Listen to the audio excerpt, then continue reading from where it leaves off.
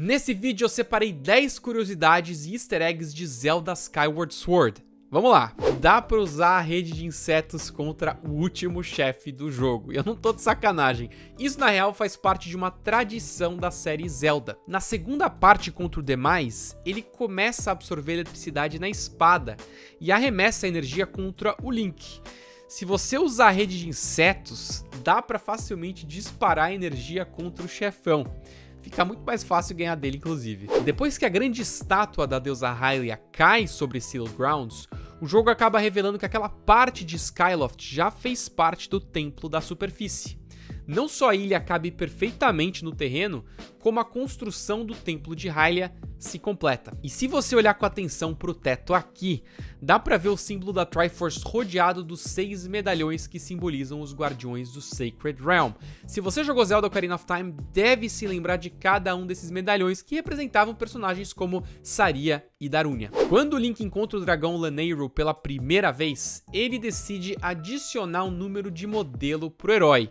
LD Link 16. Esse nome segue um padrão parecido ao dos outros robôs da região.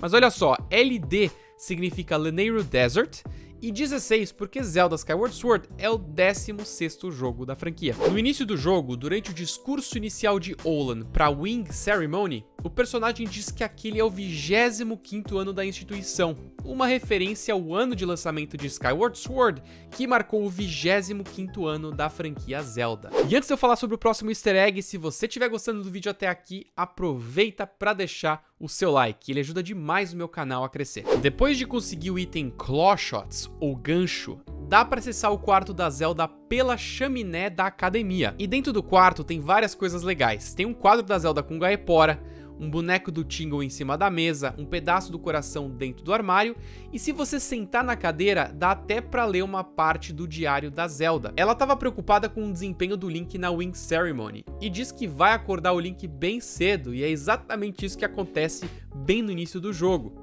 Aliás, se você entrar pela chaminé durante a noite, ainda dá pra ver o Gaepora tomando um banho de banheira. Às vezes tem alguns cogumelos que vão aparecer com um brilho diferente. Quando golpeados, eles soltam uns esporos especiais que podem ser capturados por uma garrafa e usados até 5 vezes. Dá para usar esses esporos de várias maneiras diferentes. Se você jogar em cima de um coração, ele se transforma em uma fada. E se você jogar em cima de um rupee, ele pode aumentar de valor ou até diminuir. Você já deve ter reparado que tem um monte de banco espalhado por todo o jogo.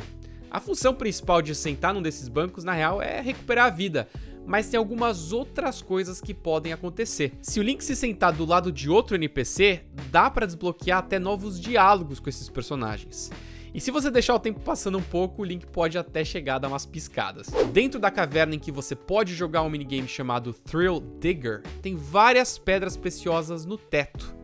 Essas pedras são, na verdade, grandes pedaços de rupees, e usando o Stiling dá para ganhar bastante dinheiro com os rupees que caírem. Só toma cuidado com os rupees que tiram dinheiro. Na terceira dungeon do jogo, Leneiru Mining Facility, tem um pequeno puzzle em que o Link precisa acertar cristais em uma ordem específica para solucionar o problema. 2, 3 e 1. Essa é a mesma ordem usada em Ocarina of Time para acessar a sala do primeiro chefe da Deku Tree, acertando 3 Octoroks na ordem 2, 3 e 1. Depois de conseguir usar o barco para explorar o deserto, Link precisa chegar até a casa do robô Skipper. Lá dentro tem um monte de quadros pendurados na parede, com várias fotos do passado de Hyrule. Numa delas tem uma referência clara daquela famosa cena do Titanic. E falando nisso, você sabia que o Link de Ocarina of Time pode ter sido baseado no Leonardo DiCaprio? Se você quiser saber mais, clica no card aqui em cima para acessar o meu canal de shorts com várias curiosidades diferentes sobre Zelda. E aí, tinha algum easter egg que você não conhecia? Então aproveita para deixar o seu like ou comenta aqui embaixo se eu esqueci de falar de alguma outra curiosidade legal. Valeu e até a próxima!